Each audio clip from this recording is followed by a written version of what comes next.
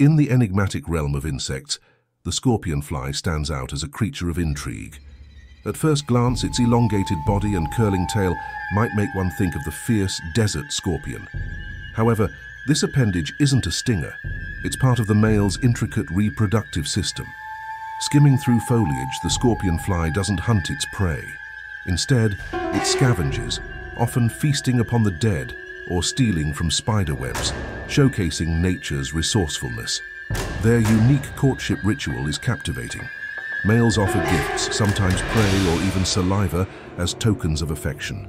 In a world brimming with wondrous creatures, the scorpion fly is a beguiling enigma, blending both beauty and peculiarity.